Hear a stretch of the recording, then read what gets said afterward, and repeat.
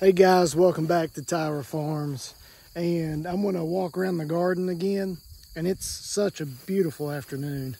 It is September 10th. And I just got done mowing around the farmhouse a little bit. And sun is starting to go down and it's really nice out.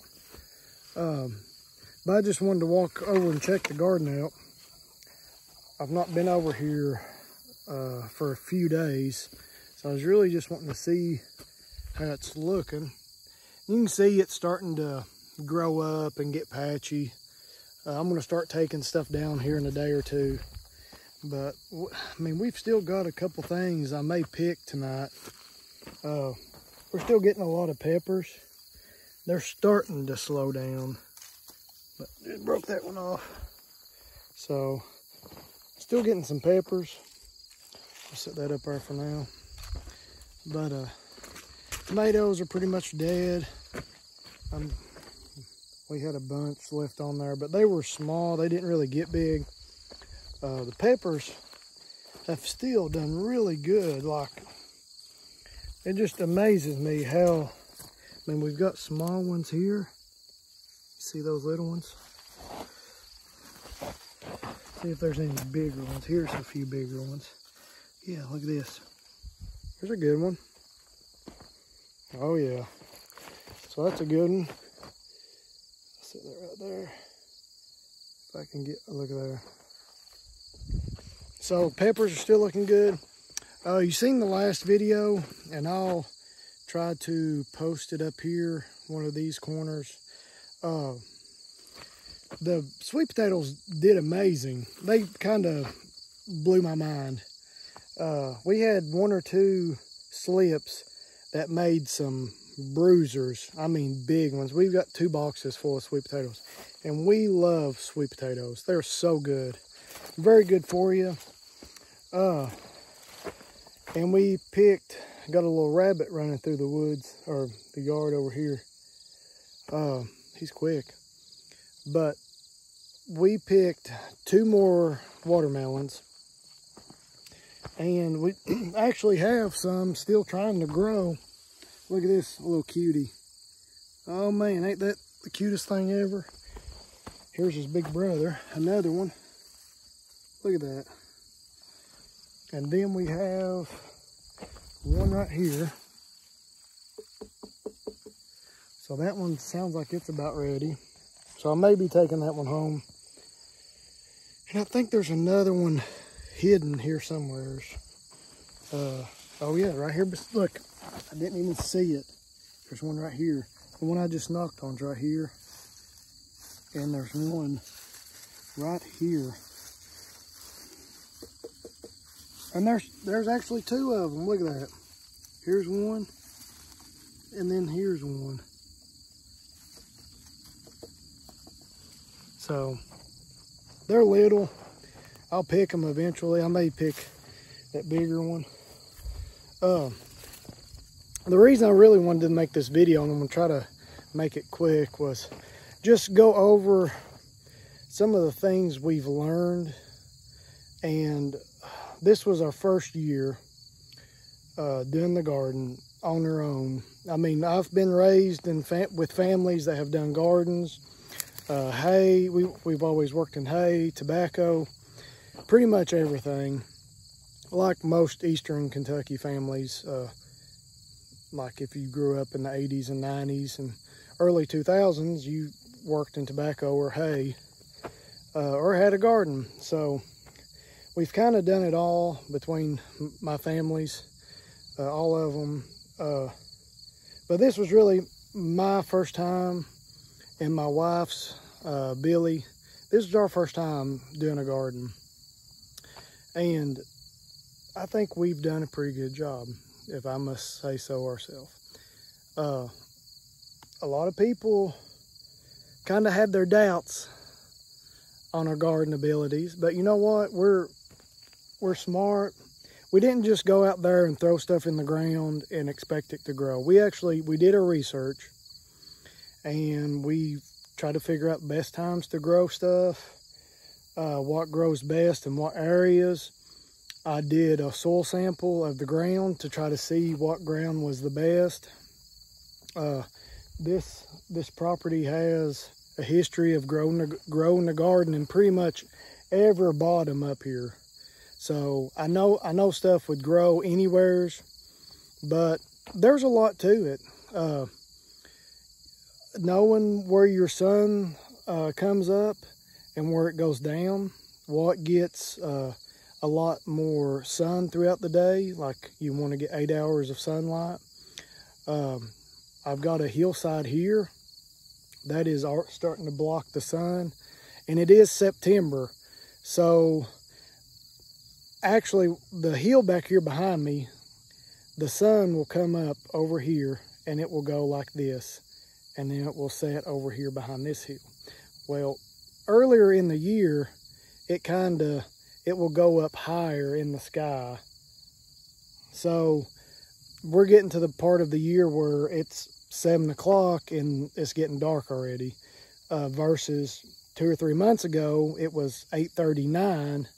So we had good sunlight in this spot, uh, which is why we we chose this bottom.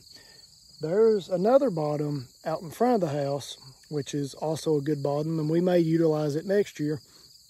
But the sun, it got less sun because it was closer to that hillside. So the sun would set quicker on it than it would this one. So we got more sunlight in this bottom. And the soil sample that we sent off indicated that this bottom was a little better. So if you can learn those two things, do some soil samples. It's free. Uh, get you a, a, kit, take it to your extension office, and they will uh, do a test for you, and they'll tell you what it needs, if it needs anything, or they'll just they'll tell you everything about the soil. So I did soil for both both bottoms, and this one more or less just said it was the best. Uh, I hear this rabbit. There's a rabbit running around out here. So I hear it running through the weeds. But that's one thing we did.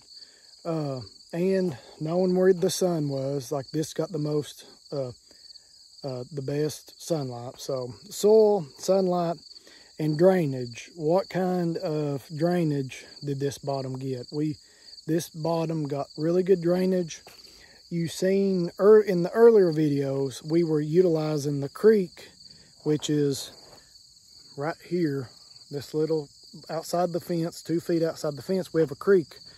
And for the most part, it stays wet. Um, we can use water out of it most of the time. So that was really handy. Uh, we're close to the house if we needed water.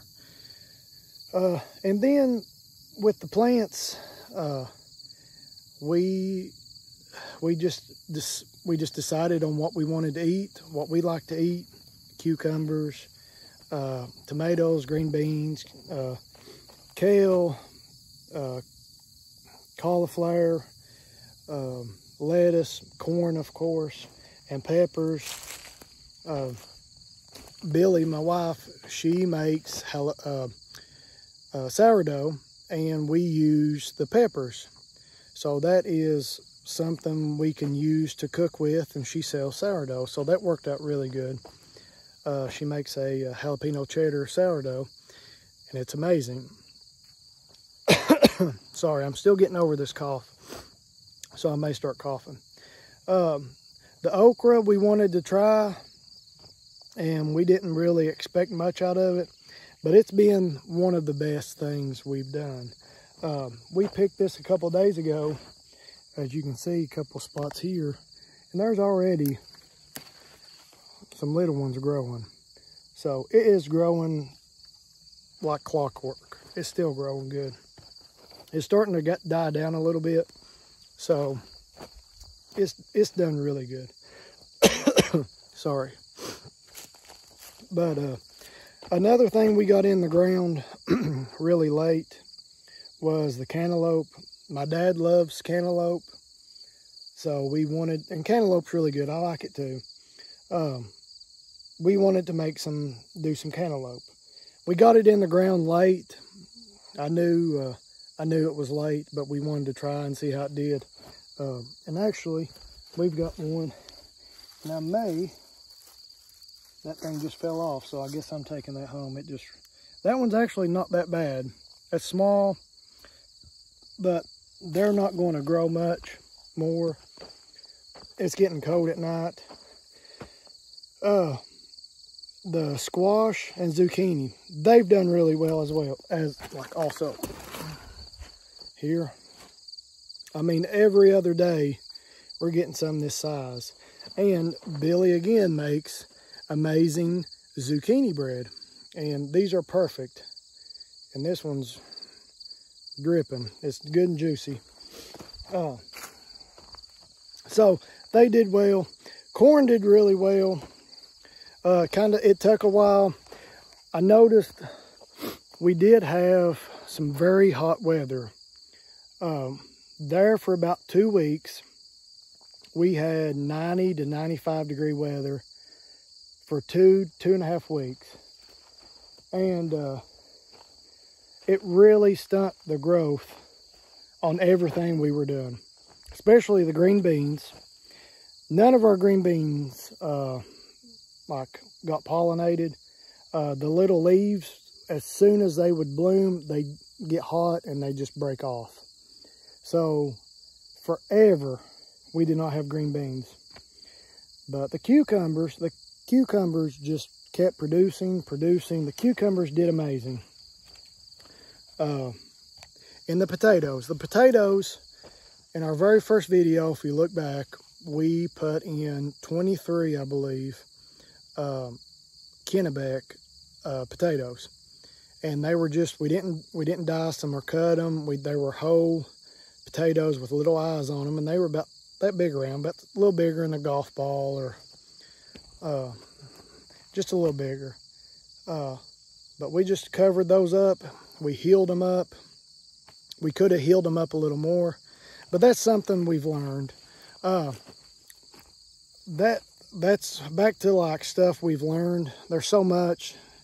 And I know I'll get off on little sidebars and just start talking about something else. But another good thing is the fence. The fence turned out to be the best thing. We had we did not have one problem with any animals whatsoever. Uh, I might have seen deer tracks in, inside maybe one time and the gate had been left open. And it just walked in looked like it walked out. Uh, but they did not they we've not had any problems at all with deer. Now the fence is five foot and it was a pain but we got a good deal on it. Uh, you can get it at Rural King Tractor Supply and like you can see how tall it is. It's up to my neck. Uh, we use these uh, T-post we got a good deal on those and this I mean it's just flimsy we put it on about as tight as we could by hand. But it has been amazing. It's it's a must. If you're going to have a garden, at least put up some string or something. I know people, they'll use uh, string and they say it does amazing. So, uh, but we put the fence up. It wasn't that expensive to do it. Uh, but it's something we'll have from now on. We can always fix it. So in the kale, I'm looking at the kale. The kale did really well. And I, I need to cut some of it, take home and make a smoothie because it is looking really good. Uh, the I think next year we will use more of this cattle panel and that's the top that we used for the arch. So this is a cattle uh, a big piece of cattle panel and it is just bowled over with, uh, with four T-posts on each side. And we wanted to do this for our grapevine. And again, I got the cattle panel at Tractor Supply. Uh, they do price match uh, Rural King. So we got to, I mean, they'll, next year I'm going to get like two or three more of these and we're going to use them through here on our vine stuff because uh, they're very durable, durable, and easy to work with. Uh, they're really nice. And I'm, I hear something up here in the woods. It sounds like a deer. Normally, I know y'all have watched my videos. If you have, deer usually like to come out around 738. So a lot of times while I'm sitting here talking, I'll look around and I'll see a deer. And uh, I hear one up here in the woods. So I'll try to post some pictures of it if he comes out before I leave. Uh, but the grapevine, I got it at Tractor Supply as well. Uh, it's done really well. It's almost as tall as me. Uh, we had some grapes on it the other day, but uh, Billy and I was up here looking at them and messing around with them, and they basically, we pulled them off. So, so next year, we're hoping to have a few more. Uh, she had put some flowers down here at the base of it, and we had kind of fixed those, but they, they were nice. Nice little touch. Um, but yeah, everything we've done, we've we've tried to research it. I mean, if you're watching this, you have the internet and you've got YouTube. We YouTubed so much stuff. Um, when to now, as I talk, I'm getting more and more hoarse. So, sorry. As we planted stuff, we tried to look up videos, how to plant, when to harvest, uh, what's the right type of plant for our area. And I believe our uh, our zone is like 7B. Um, and that's that will tell you kind of the best plants to grow or the best type of plants to uh, produce to grow in your area because we have a very particular weather here in eastern Kentucky we kind of have the best of all seasons. Um, it's a late late frost, an early frost. Um, it just you have to you have to plant stuff based on your area, and hopefully people all over is watching this video. So just learn uh, your zone, know what your weather is like, and know what is the best type of produce to plant in your area at the right time. So that's what we did. We There's a lot of research and I know a lot of people back in the day, they would just go out and throw it in the ground. Well, there's there's so much, I got burrs all over me. There's so much you can learn.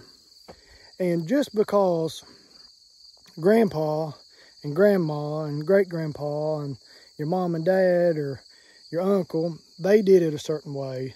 Doesn't mean it's the best way. That means it worked for them and it works. But you know what? You can take an old, old ideal or an old way of doing something and making it better. And that's what I like to think. Like I have talked to so many people. Like I said, I've got family, uh, where I work at, I talk to people all day long about gardening, and I just love it because I can take their ideals and combine it with somebody else's ideal, and I can put my own little spin on it from the research I've done, and I can try to make it even better. So I don't just take one ideal and run with it. I take a multitude. So it's like a multitude of counselors. You get so many ideals and you can bring it together and you can have an amazing garden. Uh, and life is like that too. So that's one reason I love listening to people. Excuse me. I like, I always talk to people. I said, I asked them how their garden's doing. What do you do? What do you plant? Uh, what's the little th what's the little things that you do um, i know people that will plant certain stuff on the first saturday of the month because they've always done it and they've always heard that works or on a full moon or the last half moon of the the march or like it's always something like that uh, and like watermelons, people do it on tarps. They do it on newspaper. Some people do it on the ground. I've heard people do stuff so many different ways. And what we wanted to do this year in our first garden was just look at all the different ways that we've done stuff or other people have done stuff and do it our way that we see has been working the best for other people. Like the watermelons. We've had really good luck out of our water watermelons. Uh, we put the tarp down, the black tarp. Um, a guy that I work with, he does that. And I wish I would have done that for the cantaloupe, and I will next year. The cantaloupe, they've done good. And I mean, you can see here that this cantaloupe has probably been sitting on the ground for a while and it's not rotted. So that is good. Uh, so, I mean, they don't need it. If you don't want to use it, of course, don't use it. But from what I've read, uh, having the tarp down will help the moisture stay in the ground and it will keep weeds down and it will focus more energy on your plant, your your produce. Uh, and it's less weeds you have to work with. I know a lot of people are going to straight uh, tarps. Like they will lay down a 30 by 60 section of tarp and their whole garden will be ta uh, tarped so they don't have to worry about weeds. And it, it helps. I mean, in the future, we may do that in a section because you don't have to worry about weeds. It keeps the moistures in, the moisture in and and I think it keeps your plants from rotting. Like if we had a bad uh, rain and uh, they sat here and they'd rot, the bottom them. We did have a few, uh, few sit here and rot on the ground, but it wasn't too bad. But we've had good luck out of the tarp for the watermelon. I think we'll do it again. Uh, so, but there's been so much and the main thing, I've told you a few things, but the main thing about the gardening that we've learned is just do it. Just go get started. Uh, we've been wanting to do a garden for probably four years now, and we just did it. Uh, we've always had an excuse like, well, we didn't have the room or we didn't have time uh, but here we are. We've we've made an amazing garden. We've sold a bunch of it.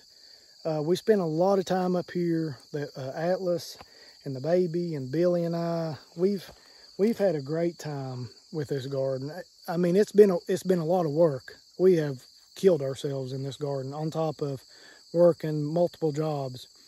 But it has been so much fun. And uh, like, I mean, I'm up here at 730 uh, and I just enjoy it. We've we've really enjoyed it. Uh, but just get started. Stop waiting for the right moment and take the moment and make it right. Uh, we sit around and wait for everything to be perfect. You you want you want to have enough time. You want to have enough money. You want to you want to wait till you're feeling better, or you just you don't feel like it's the right time or you don't know what you're doing, you're afraid to get started because you'll screw up, just stop waiting. You're, the, the moment's never going to be right. You have to take the moment and make it right. Uh, because if we just waited, we wouldn't have had this garden. This garden. Uh, we'd still be waiting. We're, I mean, just stop making excuses, excuses, and just do it that's what we did. And I'm so glad we did. Um, and there's a few other things that we're doing that we want to do. And saying, like just saying that out loud right now is like, why aren't we doing that? Like, there's so much stuff we want to do and we're putting it off. Like, why put it off?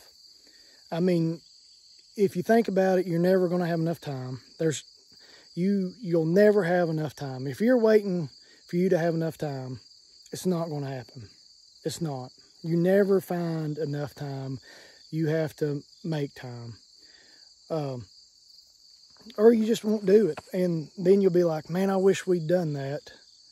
Or, see, it just, we didn't have enough time. Or we just, I don't know what we was doing. We didn't know what we were doing. I mean, every now and then I'd look stuff up online. When I had a free moment, I'd listen to YouTube videos, podcast.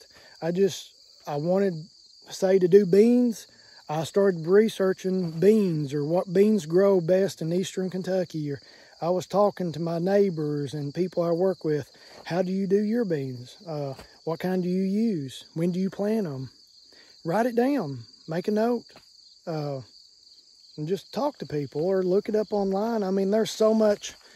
You can about do anything anymore watching videos. And that's really what I want to do next year is more uh, hands-on individual pro produce. So next year I want to make a series from start to finish uh, on the green beans, on the tomatoes, on the peppers, watermelons, the okra, the kale, the corn. I want to make more uh, instructional videos on like what we did and what worked for us. And that way more people can get out there and do this because this was, like I said, so much fun. And we enjoyed it. It brought my family together to do something. Uh, you get to work in your hands, with your hands, and you get dirty. Uh, and people don't get out and do this stuff no more. Uh, I mean, if the if you couldn't go to the store and buy stuff, I'd be okay because I can, I've got seed. I can come up here and plant stuff. Uh, I mean, and and honestly, the stuff we have grown has made me dislike stuff that we buy.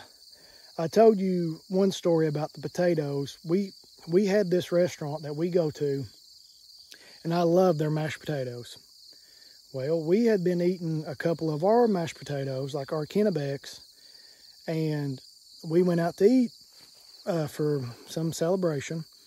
And uh, I got the potatoes thinking these were the, going to be the best things. And they tasted bad. Like, they just didn't taste good. I'm like, why do these not taste good anymore? And it's because I had been eating my own homegrown potatoes. And we went, uh, we went to the same place again later on, and they still tasted bad. I was like, well, maybe they, it was a one-time thing. No, they still tasted bad. So uh, I've run that for me. But it's good because now we have our own uh, potatoes. We can grow our own potatoes. And we had them actually down this row here. We had our sweet potatoes and Kennebecs over here. Uh, but it's just been so much fun. I recommend everybody doing this uh, especially with the kids. Kids anymore, they need stuff like this. And I'm so glad we can get Atlas and the baby now. Uh, we'll start him when he's old enough. We bring him out here all the time. Um, more people need to do this right here. Grow a garden. It don't have to be a, a 30 by 60 or it just even a little garden grow you some tomatoes, grow you some peppers, put you a couple, uh, do a couple. There's actually some deer up there right now. I don't know if y'all can see them. If I can zoom that in, I can't. Uh, but right up there above the road, I think he's like right there. There's a deer. I'll get a video of him. Um, there might be two actually. Um, but this this is good more people need to grow gardens. Uh, they've really gotten gotten away from it.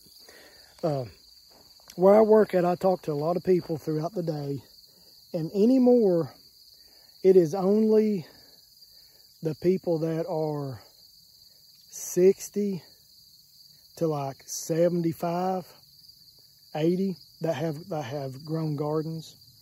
Nobody my age, there's not many people at all my age uh, that will grow, grow a garden, especially 19 to 30. Like, I don't really know many people that young. I'm starting to get in uh, kind of the clique of people around here growing growing gardens, and I know more people. I see them on Facebook, so I do see people my age, but it's because I'm in that little circle of people growing gardens. So I will see people my age, but outside of that, there's nobody. Like, and and we really need more people growing gardens. Uh, I think there will come a time when you will need to grow your own garden. And the sooner you get started, the better. Uh, I think, I really think the fast food and a lot of stuff we buy at the store, it's it's killing you. Um, I mean, it's causing cancer. You can look up all this stuff. I don't want to get into it, but you know it's not good for you. If, if you're watching this about a garden, you know stuff that's not good for you. So, we've really enjoyed this. It's been so positive. Uh, we're going to take what we've learned this year and apply it to next year and just grow on it. Uh, stuff that didn't work. Uh, one thing I tell you it didn't work, we didn't have a good enough support system for our tomatoes. They got heavy really fast and broke over. So we need to grow, uh, we need to do better on our support for our tomatoes. That was a big thing. Um, that was a really big thing. And uh, we need our cauliflower didn't do good at all either. That was one thing we really neglected. And by the time we really paid attention to, it was ate up too bad. So that was one thing that really didn't do good. Uh, everything else did okay and we're very happy with it. We have a lot of stuff in the freezer. Uh, so that's that's really it. Uh, one good thing that we did, we had a water source. I put I installed this, and if you want to look back through my videos, uh, just a, a 50 gallon drum, and it's actually full now. Of course, uh, rain the rainwater just runs in and it actually has done really well. So that has been nice because during the summers here in eastern Kentucky, it does get really hot and you feel it. Like you feel it. It's hot and everything dries up. And I think this rabbit is up here in this bottom. If he is, I'll get a video of him. It might not be. But, nope, I don't see it. But, I was looking for the deer up there too. They've moved on. But it's just so nice. Here's another watermelon I missed.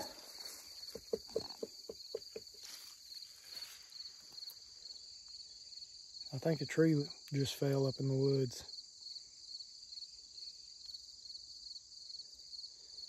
So, but there's so many noises up here. When you're just walking around, you hear stuff. Like there's animals running through the woods. You see rabbits, turkeys, deer. I don't know. I love it though. Uh, but that's really it. Uh, grow your garden. Have fun with it.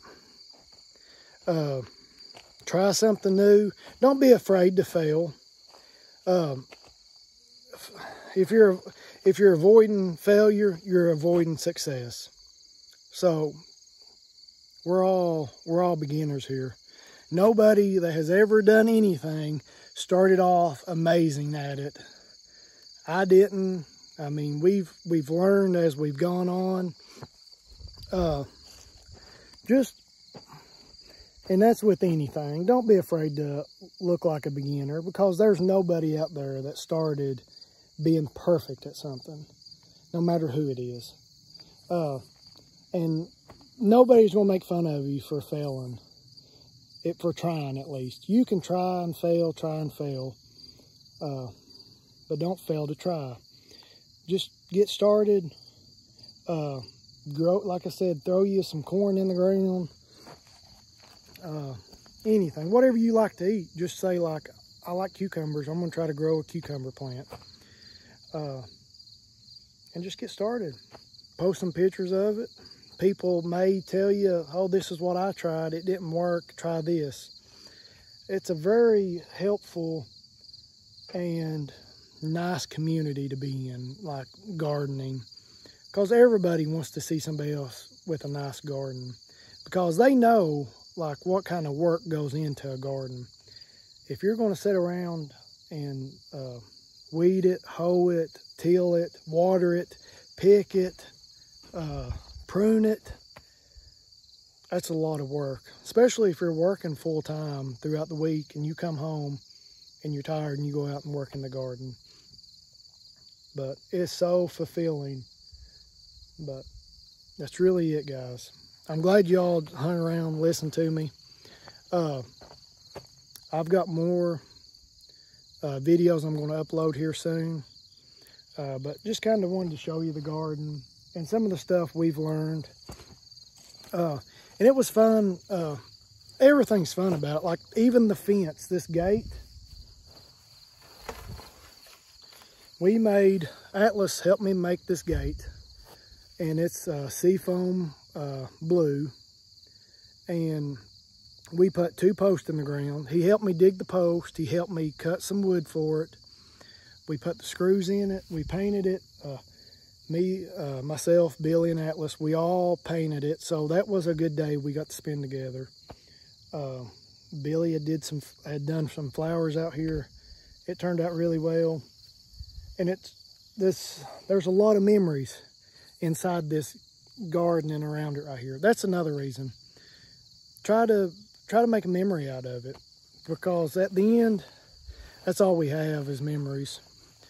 Uh, and hopefully Atlas will be like, oh yeah, we, we worked in the garden when I was little. We had nice tomatoes. The stories, the stories that you can tell are really precious and especially your family. If they've got stories to tell about you, that's really your only legacy you can leave on them. Uh, so yeah, that's a good way to leave a legacy too, is something y'all can work together with. But it's nothing big and fancy, but to me, it is in my, in my family. Uh, but till next time, we're going to try to do bigger, better next year. Uh, and we'll see how it goes. But I'll come back with more videos. I've got two or three other videos I'm going to try to upload in the next week or so. So please like, share, and subscribe. And just keep gardening and making those memories, okay? Y'all have a good one. Have a safe night.